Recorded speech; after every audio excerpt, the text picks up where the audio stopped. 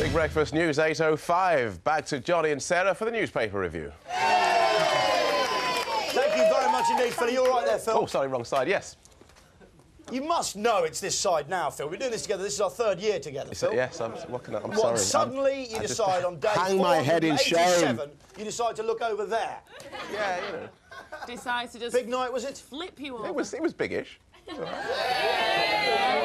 Wait a second, I didn't even really probe and already I've got a bit of a result. Yesterday, yesterday you were complaining about a sore throat, so is it better now after your My- night my- out? my- oh, thank you for your concern. It's a little better than it was yesterday. Thank you, yes. Can I just say, never be concerned about his health, ever, ever ask him. He is- really is one of those health balls. Phil Gayle, ladies and gentlemen. Thank you. I'm not strong. Don't ever be concerned about his health. Do you know, I can hear a cry. It's starting like Rolling Thunder.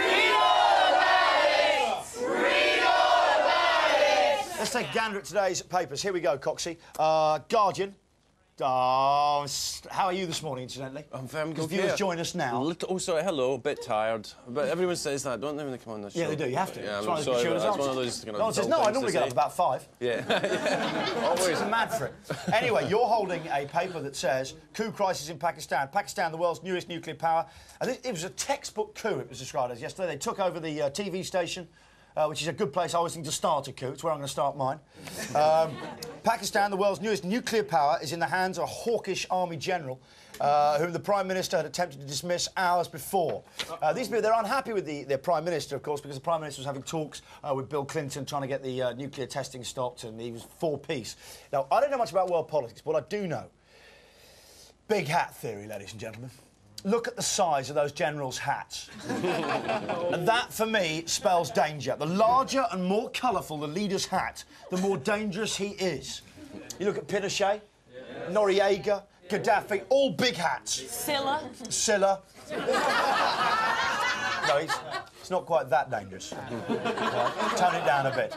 Uh, so there we go. So I, who, who had Pakistan? Do you remember we did an end of the world sweepstake a while ago? Did you have Pakistan? I did, yeah. I tell you, you are looking sweet now, mate. Great, isn't it? Yeah, because they've got nuclear, they've got tension with India. You must be, you must be made up. I'm laughing. You're laughing. You really are. We've all put tennis in. You get about 210 quid, that. Brilliant. Fantastic to spend on tin goods to stock up with. Powdered milk. Anyway, powdered milk stuff, yes. Powdered egg. Uh, Express. Appointment with death. The doctor accused of murdering 15 patients. Apparently, well, it says here, killed one while others sat in the waiting room. No. Unbelievable. Uh, Star. I'm the most hated man in Britain, says Martin Kemp, after a pensioner swore at him in a supermarket. please, please, do not move. Yes, go on. Sorry, I've got, you just see the picture of Mandy and Mo. Is it just me or is Mandy going for a tonguey? Oh my word! I would say it's very unlikely. very, very unlikely indeed. Sorry to interrupt. That's all right. But, uh, do you know, it's well worth pointing that out. So I can point out it's unlikely. Uh, the doctor accused of... Anyway, uh, I'm the most hated man in Britain. Martin Kemp, after a uh, pensioner swore him in a supermarket. It, it, fact in fictions, uh, Coxie. People really don't know the difference. People just don't know the difference. We had the radio show yesterday. It's not playing any more Spandau songs because that's going to really hurt Steve. It's madness. Anyway, there, there is more EastEnders news we get in here. This is just to show how, how ridiculous the situation is getting. EastEnders death rap victim Matt Rose has received, has received surprise support from Coronation Street's Weatherfield One. So Deirdre from ITV. It's gone mad. It's just... Anyway, uh, Deirdre uh, Rachid underwent her own prison hell last year. It was prison hell, it really was. It wasn't a prison hell. She was sat in a trailer waiting to do her scenes. Um, uh, can I just say the doctor denies all charges uh, in headline two this morning? That's why I said apparently. I think I did cover myself there, there, producer. Not that you've spoilt the flow. um, it's eventually released after a campaign led by the Daily Star. Ah, Deirdre was. Now Deirdre rebuilding her life in the street. What? Said, I sympathise having been in the position myself. It's still going on because my appeal is looming. I know how Matthew must be feeling. But he's just lounging in his trailer waiting for the next scene. There's also been cards apparently from Norman Stanley Fletcher, the 10 code 10, and, uh, and Mr. Lawrence uh, warns him that Christmas in jail can be far from merry. Um, a woman of 65, di- this is an extraordinary story, winging its way from around the world. Uh, a woman of 65 died from exposure after her wine grower husband tied her to a tree to guard his vines following a spate of death. I He don't mind tied that. his wife to a tree. I don't mind that. I were brought up guarding cattle. Of course you were. But, you were never, yeah, but your dad never lashed you to a five-bar gate, did he? Didn't he? No, he didn't. He didn't. He didn't. Admit he didn't. He did. What you're saying about your father is a serious thing to say. Your father did not, as a child, tie you to a five-bar gate. Admitted on national television, Coxie. He didn't. He didn't. There we go, exactly. But this bloke did. Not to you, but to a woman of 65. Uh, Dimitri Clota told police in Romania he only tied his wife um, to the... Uh, he only tied his wife to the tree because she kept coming back inside the house. oh, Tom, get back out there! What else could he do? What, what he, he was left with no option, was he, Lewis? What could he do? He needed wine, he needed money, the wives kept coming back in, showing lack of keenness. It's pathetically slack of her. Well, now she's gone. And that's it. Um, Deirdre's photo casebook. I don't normally bring your attention to Deirdre's photo casebook because I do enjoy it. It's something I enjoy privately, on my own. Special moments. Uh, but have a look today. Here's, here's picture one. Are you ready? Uh, Coxie, if you'd like to, to take the female lead. Uh, he says, "I- I've promised to meet some friends today, so I'll have to get going. Have a lie-in if you like. Oh, OK, thanks, Eddie. Thinks. I was hoping we could do something together. Never mind. Later. Next one, please. This is later. It's 3 a.m. and he still isn't home. Now, where the hell is he? That's from Deirdre's photo casebook in the Sun. What's that last question again? Where the hell is he? I'll tell you where he is. He's in Miriam's photo casebook in the mirror. Same guy. Here we go. He says here, give me sexy, sultry. That's it. Ooh, being ravished might be less exhausting. Have a look at the composite shot at the end here. Uh, we should have the two of them there. Have they rigged that up, Giles? Here we go. It's coming. There we go. It is the same guy. There's no doubt about it. So it's nice that we've solved Deirdre's photo casebook uh, for her. Where is he? He's in the mirror. Okay. Uh, now, Maori singer at World Cup triggers row. Uh, the, the singing of the New Zealand national anthem in Maori at last weekend's Rugby World Cup match between the All Blacks and England at Twickenham has caused controversy in New Zealand. I went, actually, I, I think I caused quite a lot of trouble there. I didn't realise rugby games are very different to football games. And I was, I was at the rugby game and I was chanting to the New Zealand players, Does your landlord know you're here?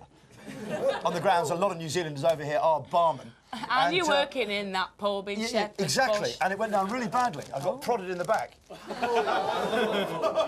I did. Like I that? Really, yeah, really prodded. I don't know why. But anyway, the row has been joined by Prime Minister Jenny Shipley. But the thing that really gets me is that we had this big. Uh, the, the, the English people, we weren't allowed to sing Swing Low. And when they did last weekend, it was pathetic. They had this high energy version of, you know, Swing Low. The New Zealanders now, they're going to have two national anthems and the haka before. We get like the national anthem and that's it. It's ah. pathetic. We get that high energy thing. They were sort of like that. And then you can see the New Zealanders laughing. The England players are sort of like that. if you're sat around at home, call the England rugby team. it's pathetic. Swing low. Pathetic. The New Zealanders, you can see them laughing. They were just laughing at us. They do their Maori war dance. What do we offer? A bit of high energy. It's pathetic. We should have our own haka. We should have boozed up cleaning ladies in tabards, bulldogging with big mutton chops. Yeah, that'd sort them out. Uh, here's a letter for you. The England rugby team's answer to the All Blacks haka should be the Birdie song with Richard Cockerill leading the actions. That's from Jim Watson. Uh, do you know? That's all I've got time for this morning. Spent, do you know? I really have spent too long on things. Oh, except to say. you know, there's been a pen- pensioner anger over this meagre 73p raise they've had, which is pathetic. It's Disgusting. It's pathetic. The people who made this country what it is, the wreck it is. Uh, families awoke yesterday to find digestive biscuits taped to every house, wall, and road sign in Trinity Street, Norwich. That's the sign for the pensioner revolution, isn't it? It's so obvious. They've been going on a secret code. Now the digestives are out. I don't know. Before the Indian mutiny, I think they made a special form of chapati, didn't they? And that's how the English authorities got onto the fact there was a revolution and mutiny coming. It's what the pensioners are doing. So if you see digestives, take them down. It's, seriously, Yeah, they'll like it's the grey revolution. Big roll. Yeah.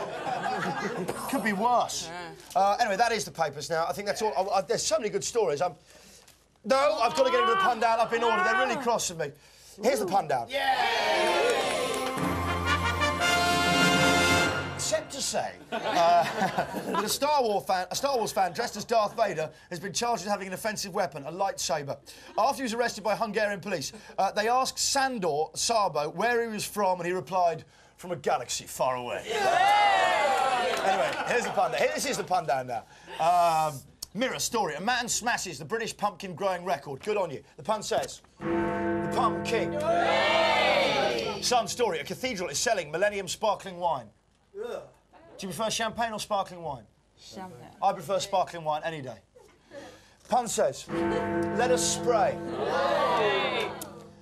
I like red sparkling wine. Star story. eh, this is, do you know what? I've got to tell you, we've got some genius. I forgot to tell you this. There's some genius coming your way now. A- an amazing pun. Oh, God, really? Yeah, no, this is this is it's in the Star. Do you want me to do a trumpet? Go on then. Do you know, next time, ask me if they want me to do the trumpet again. Do you want me to do your trumpet? No. A zoologist can halt stampeding elephants with a. No, it wasn't that good, Sara. Yeah, go over there, Sara, because it's trumpet shame. Over there. No, behind the bar, Sara. No, don't go ah. She failed on the trumpet impression. Everyone, if you're going to say I'm going to impersonate a trumpet, do it properly, all right? Hide behind your photo on the top there. Oh, I'm in too deep. No, don't, Britney.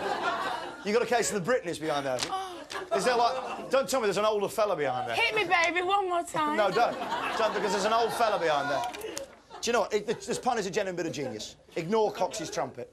A zoologist can halt, sta- halt stampeding elephants with a didgeridoo. So, elephant stampede. He can play his didgeridoo. He's made out of a bit of a drain pipe, and the elephants they stop stampeding. Okay, it is genius, but you wait for this pun. It's amazing. Come on. The pun says Trump called to reverse charge. Whoa there! What has happened at the start? Trump called to reverse charge. Oh, When I read that, it was like being shot through the forehead with a diamond-tipped bullet. Thank you. It'll win the week.